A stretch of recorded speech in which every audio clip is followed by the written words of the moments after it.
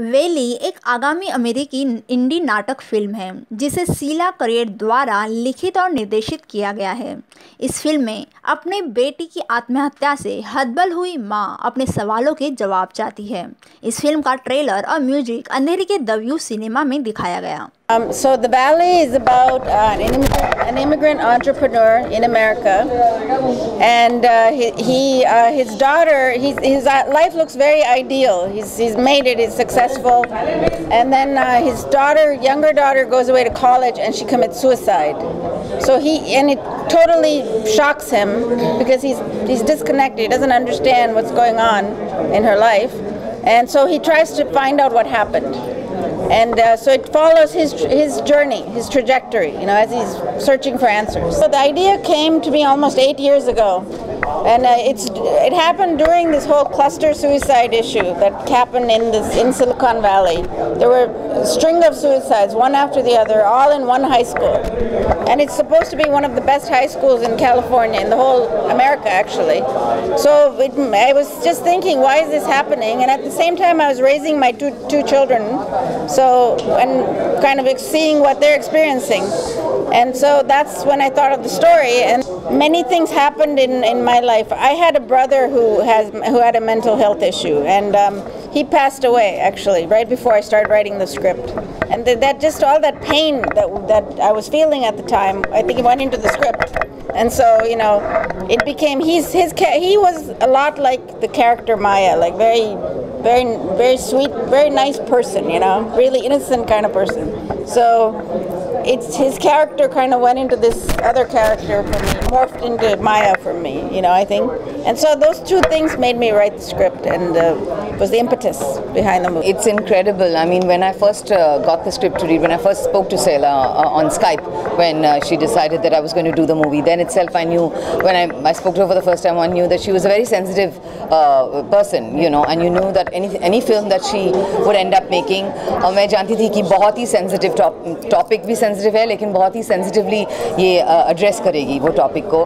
तो मैं बहुत ही खुश थी कि you know I been given the role of Rupa which is the mother which there is a whole gamut of emotions obviously बहुत guilt है you know she she feels a lot of guilt because she doesn't have enough time for daughter she doesn't she thinks that she is not been in touch too much with her daughter's life the daughter finds or she is having in affair is it because of that you know all of that so a nice range of emotions for for Rupa's character so, um, and ultimately when we went to the States to shoot it, uh, Ali Khan, I've known for 16, 17 years, so it was very, very easy to, to act with him uh, as my husband. The other two, the, the other two actors uh, she has got as the daughters, uh, Salma Khan and Agnita Thakkar, who plays Maya Brilliant, brilliant actresses. One is from LA, one is from New York. And what a sensitive actress, the girl Agnita who plays Maya. It, we learned a few things from her. Frankly, there were times when Ali and me were discussing and saying, my God, we wouldn't have analyzed that the way she has. So her casting was absolutely brilliant. वो दिखते भी हैं जैसे हम हमारे बच्चे हैं. So it was wonderful to be part of it. Awareness तो होगा एक तो मैं इनको मुबारकबाद देना चाहूँगी बिकॉज आई थिंक आज के दौर में जब न्यूज़ भी एंटरटेनमेंट हो गया है for a filmmaker to choose to make a movie about a topic like this is very very brave so I applaud you and I applaud my friend Suchi for kind of pouring a heart out in the trailer that I saw I think depression के बारे में mental health के बारे में alcoholism के बारे में हम बातें नहीं करते हैं। और एक बहुत ही यूनिक पर्सपेक्टिव होता है, जो भी एक फेमिनिन पर्सपेक्टिव आप सुनते हैं, और लड़की भी जो, जब जिसकी मौत है, एक यंग गर्ल की सुसाइड होती है। So I think that that in self is very unique I think that it's something that we must support जब मैंने अपनी फ़िल्म करियर शुरुआत की थी, मैंने तमन्ना बनाई थी, जो फीमेल इन्फेंटिसाइड पे थी।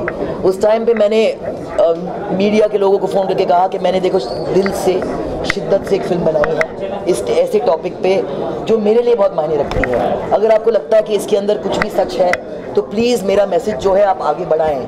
तो मैं उनकी बिहार पे, ये बहुत ही शाय होगी अमेरिकन भी है आदि तो मांगेगी नहीं ऐसे ऐसे।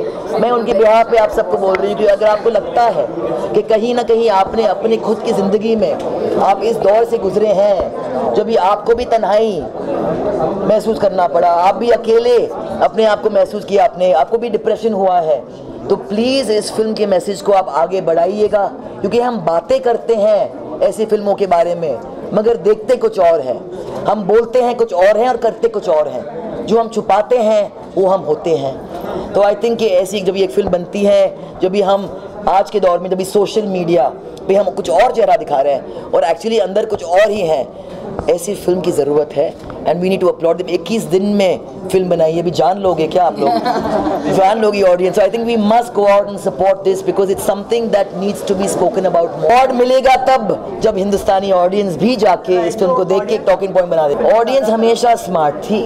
हम जो सपोजिटली फ़िल्म इंडस्ट्री के जो एक्सपर्ट्स हैं, हम काफ़ी ऑडियंसिस को अंडर एस्टिमेट करते हैं और कहते हैं कि वो तैयार नहीं है।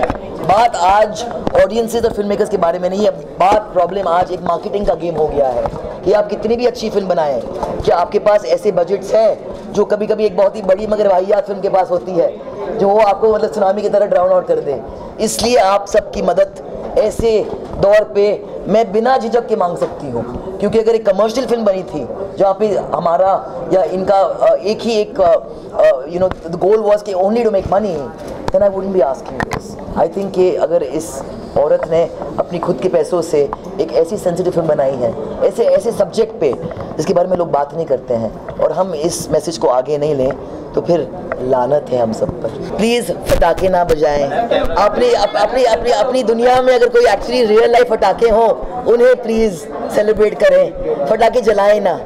सर अपने रियल लाइफ फटाके को सेलिब्रेट करें बस। रिलीज़ होगी जब भी मेरे जो पार्टनर्स हैं श्री भूषण कुमार जी और श्री ब्रेव जी फेयरली और ट्रांसपेरेंटली मेरे सारे वोटर्स के पैसे रिलीज़ कर दें।